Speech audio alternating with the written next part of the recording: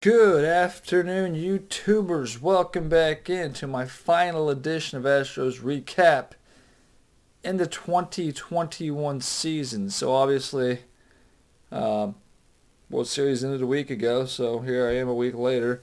Astros obviously lost the World Series, so I'm not really going to talk much about that. I'll give you a quick recap there and then just sort of go into uh, the off season because, you know, we were already thinking about the off season halfway through Game Six, as the Astros didn't even show up.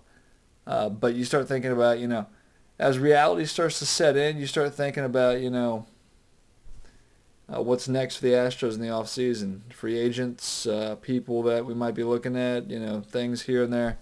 Uh, by the way, it is Tuesday, November 9th, 2021, 3:15 p.m. So like I said, the Astros lost exactly a week ago today.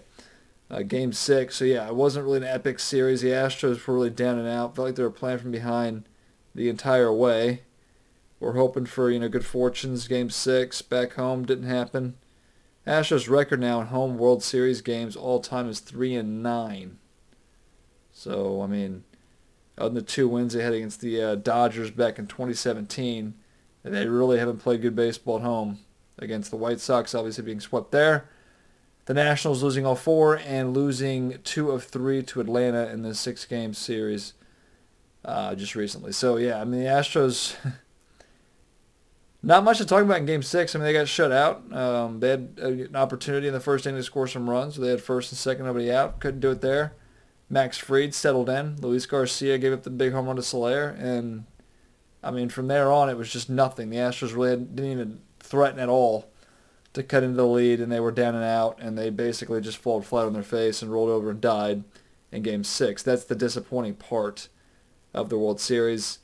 Now, there's always the talk about would you rather lose the game very, very close where you think you have a chance and be more more of a crushing defeat, or would you rather lose the way they did where reality set in, you know, an hour and a half, two hours into the game, and you knew that you weren't going to win, and you just sort of take it. Um, so there's always a discussion there. For me personally, I mean,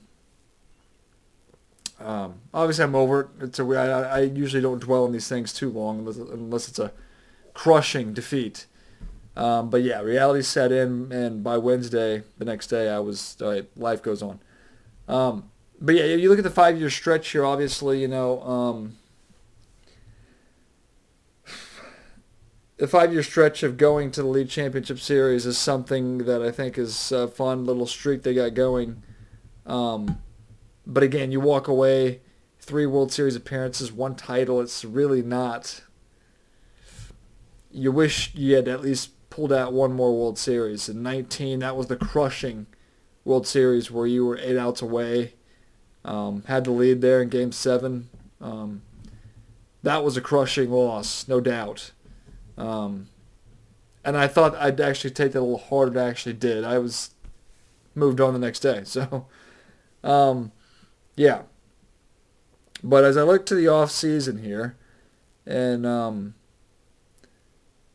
you know, things started running through my head as the game was going on, as we got in the late innings, and the Astros were down five, six, seven runs, whatever the final score was. Let me just give you the final score here. But Luis Garcia obviously got the start, and he uh, wasn't very good uh, at all. I just want to look at the. I'm not even going to go through the pictures or really give you a recap. The the Braves seven to nothing. Braves beat us down. Garcia gave up the big three-run home run. He got taken out, and then yeah, things weren't really good after that either. Um, but I mean, you can't win if you can't score. So that was sort of the story there. Um, but as I look in the offseason, obviously Correa is gone. I think this team has a chance to be as good, if not better, than last year. And I want you to hear me out if you think I'm crazy. Correa is going to be gone. I know that. I'm about 99.9% sure he will not be an Astro next year. Um, that doesn't faze me. Obviously, you'd love to have Correa here, but he he's going to cost too much. And I, if I'm the Astros, I'm not giving him 180 million dollars. They did give him just recently, like a two two three days ago, a qualifying offer which was actually a very reasonable deal for the Astros. I mean, well, not for the Astros, but for Correa. But it's it's five years. It's five. It was five years, 160 million. So if he took that deal, he'd actually be making more than Jose Altuve and Alex Bregman make. And let's not sit here and act like with a healthy, with a healthy Alex Bregman and a healthy Altuve that Correa is better than them because he's not. I mean, you can say what you want about postseason baseball, but I mean, uh, in the course of a 162 game season, Alex Bregman and Jose Altuve are better baseball players than Carlos Correa. I think it's just that simple. And you know, Correa, we've we've dealt with you know the injury history there. Obviously, he stayed healthy this year, stayed healthy last year. But again, I mean, Correa is a guy. The the three years prior to that, he was hurt for a big chunk of the season each of those years. What was it 17, 18, 19? I think in all those years he was hurt for a good part of the year.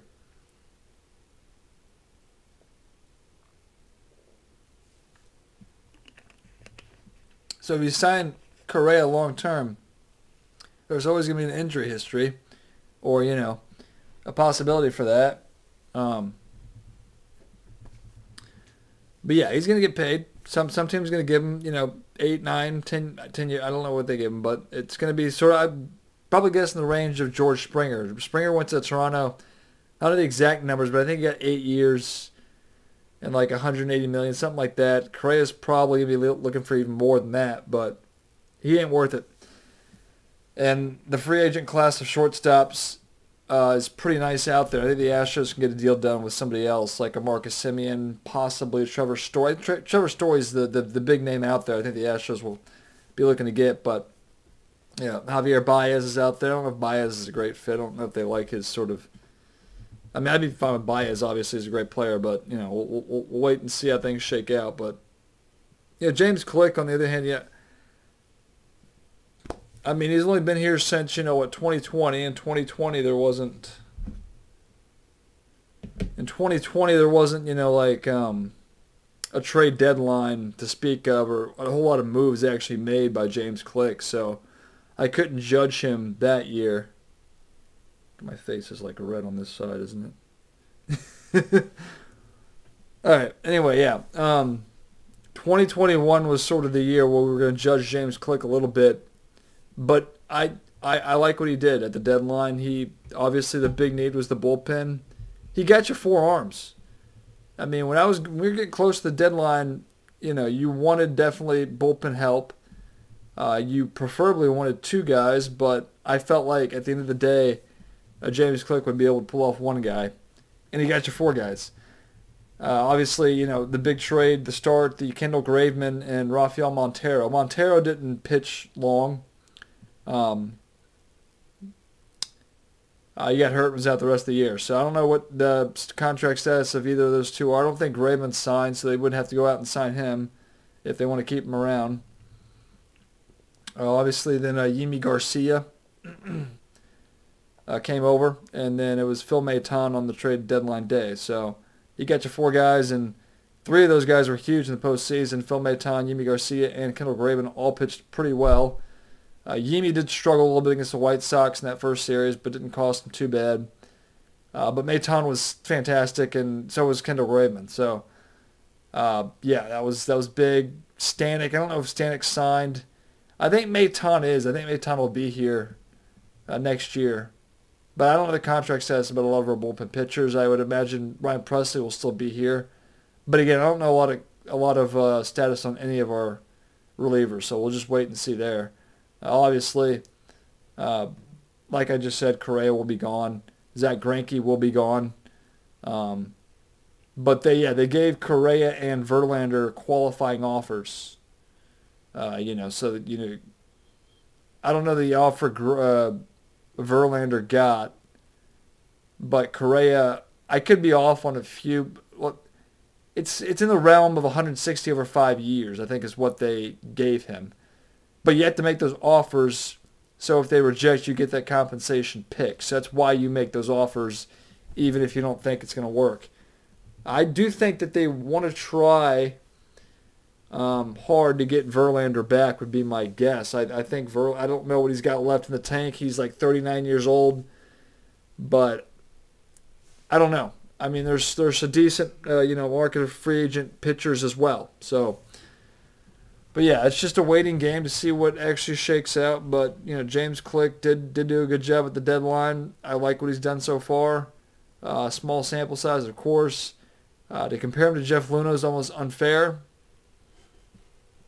Um, but yeah, I mean, J- Jim Crane made the decision to move on, which I will sit here and never agree with.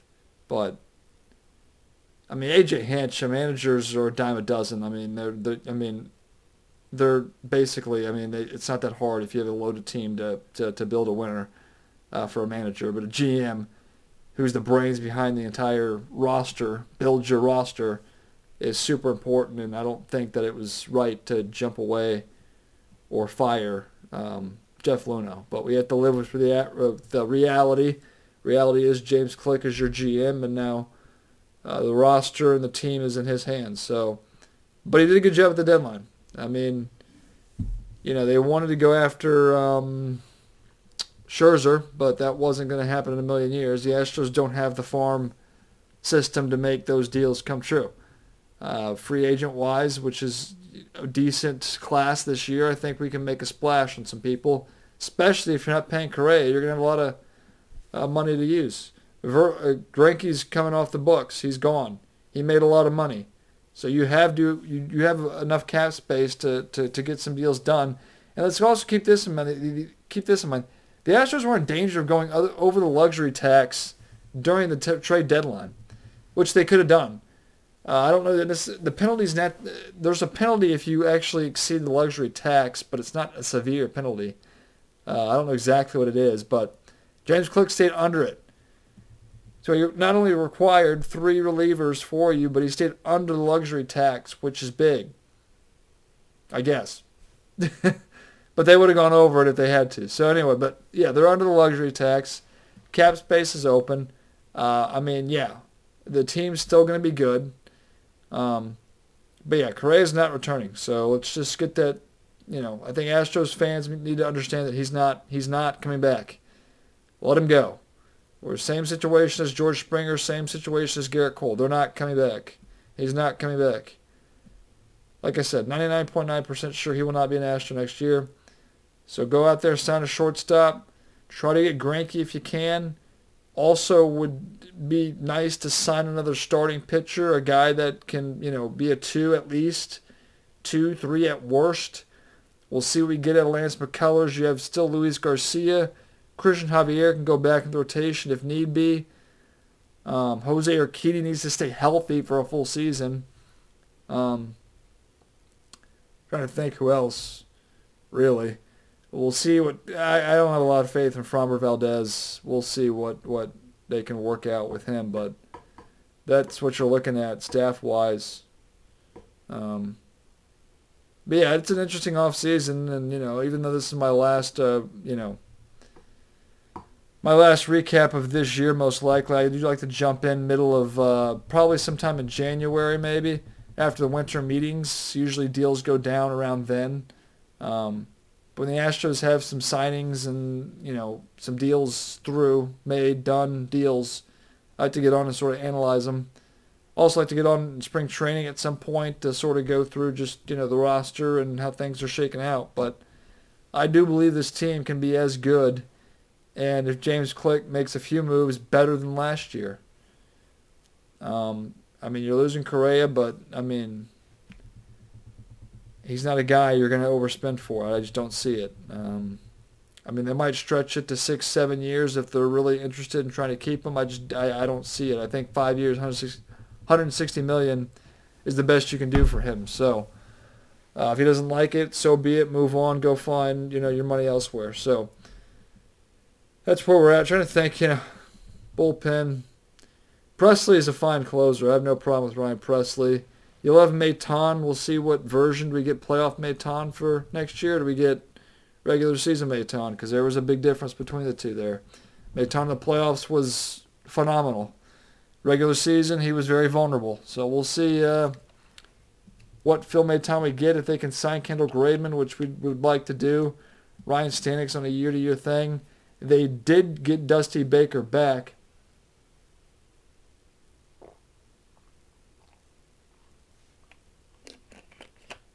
That's been the only thing they've done so far. I mean, on a one-year deal.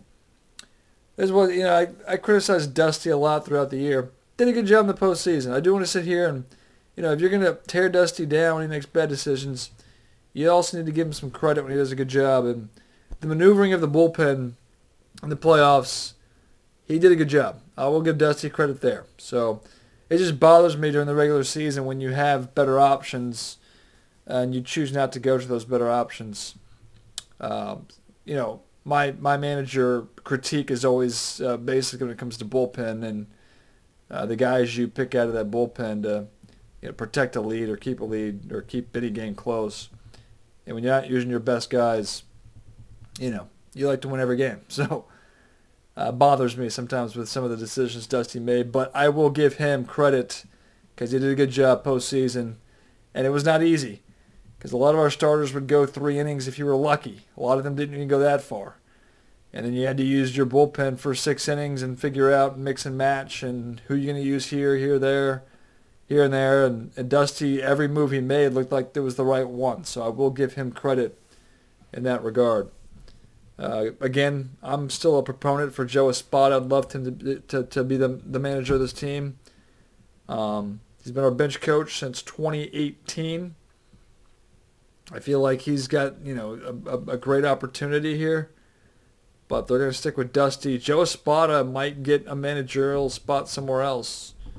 So that's the danger of not promoting him. But I feel like, you know, he's a great guy. I feel like, you know, he knows his team as well as anybody and he'd do the same job Dusty would. But yeah, we move on and and we'll see. But uh, again, just a whole lot of thoughts, not nothing done yet. Um,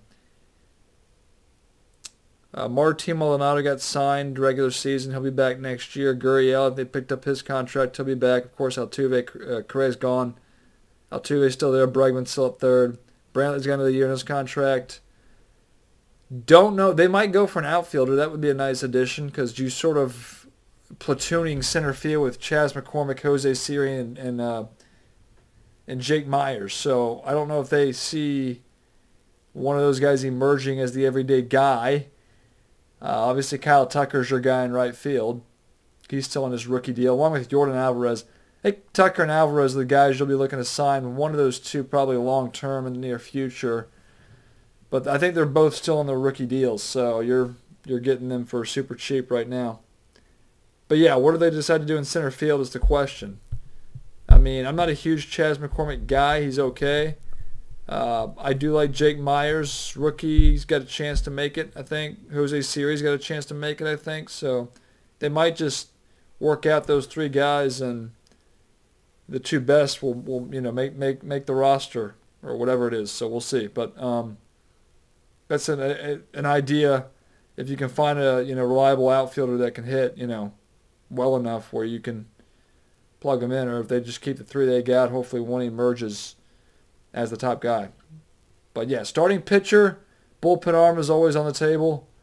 Um, seeing if you can get at least Verlander back, an outfield bat. Those are the three uh, needs I, I sort of look for.